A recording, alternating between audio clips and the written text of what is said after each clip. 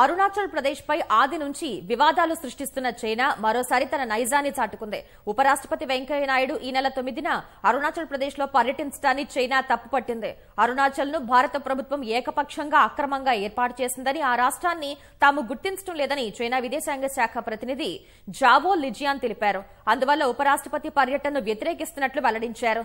China ఆందోళనలను భారత గౌరవించాలని సరిహద్దు సమస్యను పెద్దది చేసేలా వ్యవహరించవద్దని సూచించారు.